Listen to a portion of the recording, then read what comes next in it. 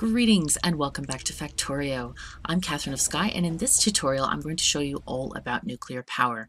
Now the first thing we need to do with nuclear power is get the uranium uh, and we need to mine it from the uranium patches which no doubt you'll have seen glowing uh, in the world. So I have come with my train which is filled with sulfuric acid uh, which I pump into tanks here.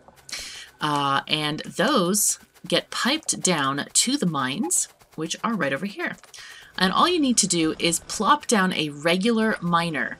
Um, if you look at the miners, they are, you know, they're just regular looking, but when you put them over the uh, uranium ore, they change into these ones with tanks in them. Make sure that all of the miners have access to the tanks. It's very easy. You can um, or all the miners have access to the sulfuric acid. They do not need to be connected on all the outside edges at all by any means. The sulfuric acid flows through them. As you can see here, it goes all through these guys. I could connect these guys to that end or whatever, but they do not have to have pipes all the way through. Also make sure that they're powered.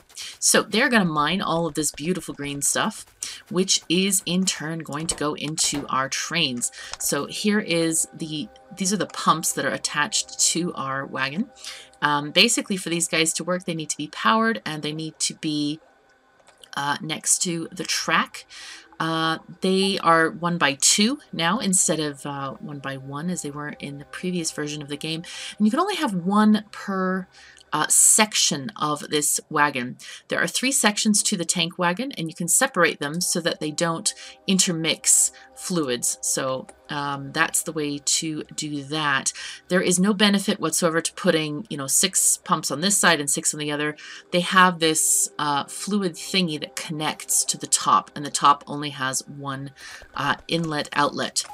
All right, so now that we've got mining under control and our wagon's full of uranium, let's go back to the base.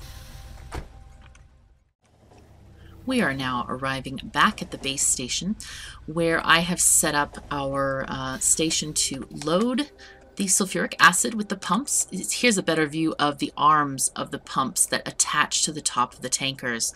Um, and you can see the sulfuric acid flowing through the little pumps there. And um, this set, this train is set to leave when the cars are full, and I've actually stopped this. But here we have just basic unloading of those materials of the uranium ore. Uh, and I've stopped this just to give you a better uh, perspective on things. Now here we need to convert this ore with the um, uranium processing uh, recipe. So we're going to get a centrifuge, we place it down, and choose the recipe for uranium processing. These guys take in all the materials, and then I have allowed them to put them on the line behind. They take in 10 uranium ore, and you have a 90 something percent chance of getting the uranium 238 and a very very very tiny percentage of getting uranium 235 which is the material we're using for fuel. So these guys also I have put this is sort of an end game setup which I will have in my Google Drive blueprints folder each of these machines has two Productivity 3 modules, enabling us to get a plus 20% bonus every time we process uh, this stuff. Um, and that's really important because uranium-235 is actually quite rare. Uh, ignore what you see in my inventory. I've been having this process going for many hours. Um, anyway, the uh, machines are surrounded by beacons with speed modules, enabling us to just process a lot of this faster. Now all of this gets shuffled along a belt to a sorting station. And here we have passive providers on the top and we have regular chests on the bottom. That's very important. Uh, at the top, we've got the 238 going into there. And as you can see, several of these chests are completely full. Uh, and in the bottom, we are taking out the uranium-235. Um, these will also get put down onto the bottom belt here, so we can start the Kovarex enrichment process. And let's just go ahead and do that.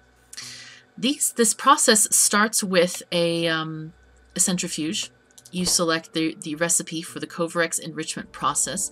And what this does is essentially guarantees you a supply of uranium-235 as long as you supply it with 238. uh, the process takes in 40 235 and returns 41 235 with the addition of um, three extra uranium 238. It takes in five, it gives you two back. So you get a little bit of an exchange there.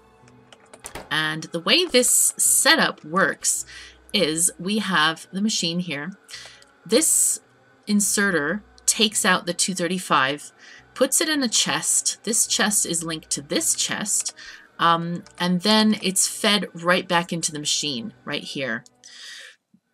And this inserter only puts this back on the belt if we have greater than 40 in the chest. So let's see how this works. Let me put in um, another 20, do we need? 20, 20. Let's grab this. So here it's going to go, do the process. And as it's chugging along, and I love the graphics of this, it looks very, very cool. I love it. So what's happening is that the uranium is getting shuffled around, and we have one extra in, in the hopper there. And as this keeps going around and around, we're going to continue to get more and more each go round. Now you can, uh, and there, there's the uh, 235 coming out, and this belt goes out this way, connects this way, and, and goes right back into the chests. So basically what happens is when you are, when you output enough for this chest to be full, like if we fill this thing with the 235, um, uh, it will basically process and process and process and we'll have plenty uh, getting in this chest. Let me just put some more in well, we can even put more in here. Um, so basically, once you get 40 in this chest, and I've changed this inserter to um, change the stack size to 1, so we don't take out any more than, than the one that's over the amount. But basically, this will go around, will come down here, and will go back on the belt. Uh, and that is so that we can feed other machines in the line here. So if we go ahead and connect this belt here, and I'm going to get some more inserters because I, uh, I took them out so that we could um, do this, you know, do one machine at a time. You'll want to start with one machine and then you can start adding a second machine and then a, uh, a third and fourth. But basically two machines share a set of chests and at some point you can change this chest. So instead of 40 in the chest, and that's just, you know, um, sort of doomsday number, oh my gosh, we need 40. Uh, these stack inserters transfer things so fast and they have a stack size of 12 that you could change this to something like if it's greater than 12 then you can output onto the line because if the machines are um, are needing stuff these inserters will transfer immediately. All right, so what happens when we have plenty of uranium in our system? Let's find out. We can, well, we'll take out some of these stacks. Oh, gosh, that's not what I want to do. Come on. There we go. Whatever. Okay, so we're going to have plenty of uranium. All of these guys are going to get filled to the brim with stuff. Um, what happens is at the end, when this whole process is backed up, it's going to go into a provider chest. And as you can see, I already have plenty in that provider chest. Um, and that is going to go into the fuel cell creation. Now, at some, if you need um, lots, if you need nuclear power, do not have a huge line of these until you can support it. You can actually manually make these fuel cells or have a special requester chest saying, okay, if you have X amount, transfer them into a provider uh, so that you can start making fuel cells because fuel cells are what is going to make your power plant run. All right, so let's get on to the power. Oh, here is another machine that we have. Once the nuclear plants drain the fuel cells, you'll come up with empty fuel cells. Uh, they look like this. They're called used up uranium fuel cells. And this machine basically requests them from the network and then puts out the extra um, three, uh, whatchamacallits, the uh, uranium-238, puts it on the belt, and again, the belt goes back into the whole sorting system, so this can all be reused, reprocessed, and put back into the Kovarex enrichment process. Right, let's go now to our reactors. To begin your nuclear setup, the first thing you're going to need is a reactor. Now, um, these are very, very expensive to make, but as you can see in your inventory, they tell you exactly how much uh, energy they'll put out once they're placed and powered. They will produce 40 megawatts of energy. Now, how does that translate into the rest of the items? Well, um, these are heat exchangers, which are similar to the boilers of early steam power, and these guys take, um, they uh, take 10 megawatts of heat and transfer that heat into making steam. So they're not on right now because they're not actually hot enough. They need to reach a temperature of 500 degrees in order to do that. And as you can see, the um, nuclear reactor has actually been going on for some time. It uses fuel very, very slowly, each of these fuel cells lasts 200 seconds, uh, and it does take some time to get up to max temperature. But these guys are heating up, as you can see as I mouse over them. They say the temperature 460 degrees and such. Um, so what we do is take that value of 40 uh, megawatts and divide that by our 10 megawatts, giving us four heat exchangers for a single nuclear reactor. Now, how do we calculate how many steam turbines? Now, these are very similar to the steam engines of early steam power, but they create a lot more power. Uh, these guys have a very curious, oh, there they come on. Um, they have very strange numbers because the devs love to give us odd ratios. These have a maximum power output of 5.8 megawatts. Now this is only visible in the tooltip as you can see. If you mouse over it doesn't say. Um, but what you do is you take your 40 megawatts of the reactor, divide that by 5.8, and you're left with 6.8. Uh, and that would equate to 7, which is exactly what we have here. Um, these guys are connected to the heat exchangers with regular pipes. These are just, you know, your standard pipes that you can draw on the ground like this. And um, those transfer the heat from these guys, from the heat exchangers into the turbines. Of course, the heat exchangers do need to be fed with a water line, which is connected to that lake right below us. Uh, these heat pipes uh, you must keep in mind that they can only go a limited distance and the heat actually gets lower. As you can see next to the reactor it's 556 degrees but as we go up it gets less and less. So these have a very limited distance that they can travel before they have insufficient heat in order to heat the heat exchangers. And these guys look like this in the inventory. You can just kind of draw them like, like pipes. They connect to each other automatically. So that's pretty handy. Now this reactor is being fueled with um, a requester chest, though you definitely can fuel it with belts if you like. Uh, I tend to only request 10 fuel cells because they use them up so very slowly. As you can see, it's not really necessary to have more than that. The output chest is also important. You can use a passive provider if you have a requester chest on your uh, reprocessing thing that requests like 20,000. Um, but I tend to use an active provider. It can be good practice if you're playing Bob's Mods or something like that so you don't fill up the entire chest. This is a compact setup that I might use if I am having a temporary arrangement, but later on I definitely want to use a modular setup. Now the biggest of these is over here, but they all tend to use the same uh, type of setup. So what I've done is I have converted the single reactor setup into a long one. Now this long design uh, comes from uh, Mike, uh, who also has created many, many other blueprints. He loves to optimize things and he's come up with this very nice, very compact design. And he's based it on basically having the maximum amount of throughput for water, which I'll get into later. But this is the single reactor design if you want to do the expandable setup. Now, um, if you need more power in your factory, you can go to a two reactor design.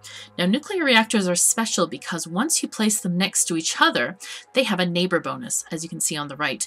Now, um, instead of this being two times 40 megawatts, these actually are having a neighbor bonus, which doubles their production. So these produce 160 megawatts instead of 80, uh, both together. So these also, they're also fed from the chests and For these, we're going to need uh, 16 heat exchangers and 27 turbines. Now we're also going to need at least two pumps of water, which um, I have, oh, apparently I forgot to connect the water. Let's just do that. I shortened this just for the sake of saying, okay, if you don't have enough materials to build all of these heat exchangers, then you can shorten it a little bit. But uh, these have just about, these have exactly the correct number of turbines, which we need, and that is 27. So for two reactors, you need 27 turbines and 16 heat exchangers and at least two pumps of, or well, just over one pump of water, so two, um, for de water delivery. Now, once you get to four nuclear reactors, you get an even bigger bonus because your neighbor bonus is now 200%. Uh, this array will produce 480 megawatts, which is why nuclear power is so powerful.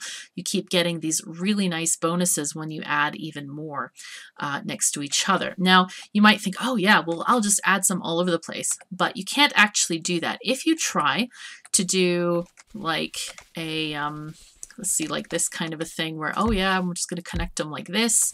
Uh, you can't do that. They won't get the bonus because they have to be on the full side connected to the other reactors like this. You know, the full site is connected. That's the only way you can get the bonus. Anyway, with four reactors, you will need 48 heat exchangers and 83 turbines. So what I've done here is, I don't know how, let's see, let's see how many of these I'm using this lovely design and it is exactly 48 heat exchangers. And let's just check the turbines. I think it's a little bit short on turbines. Yeah, it's 80 turbines, but I didn't want to put another column here. So I'm just happy to let that be that because once you start needing power from nuclear to, you know, power your moduled factories, you're going to add a bunch more at a time, not just worry about little piddly bits and pieces. Now, six reactors um, gives you the maximum bonus uh, in the middle ones. So these guys, as you can see, get a 300% bonus. So every time you add an extra two, like if you add these two onto here, um, say for example, like this, if you grip these and you add them onto here, basically it makes these two the middle ones. So every time you add more middle ones, you are going to add 32 heat exchangers and 55 turbines. This array of six uh, needs 80 heat exchangers and 138 turbines um, and produces 800 megawatts of power. Now this design is very, very expandable. Um, let me just show you the back end of this where it is connected. So the water runs under the, the power poles and those connect, of course, to water pumps out here. And each of these uh, pipes only needs one water pump and it consumes every single bit of water that these pumps generate, basically. Which is a very, very handy design. It's extremely efficient. And these can be tiled for quite a long ways. Uh, the next one you could do uh, would be something like, let's grab this blueprint. I love blueprinting from space. It's absolutely fantastic. Um, but yeah, you could essentially if you are worried about the distance that the heat travels, as, but though as you can see, the heat is still quite high here, though we're not using all of the power, but you could place them like this. You know, get your your your guys lined up there in in, a, in an array like this and have the, the uh, turbines and the heat exchangers on the other side. So there's all kinds of ways to place this and you can have a massively long array.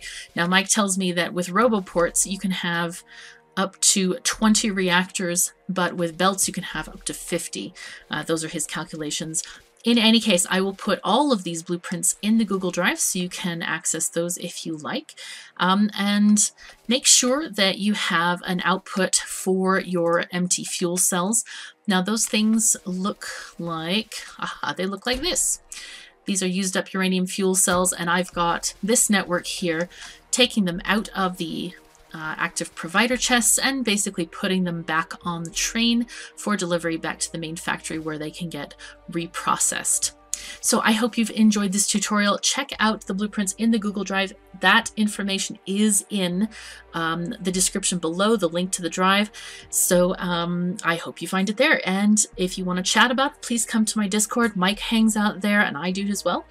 Um, anyway, thank you so much for joining me. Take care of yourselves and each other, and I'll see you next time.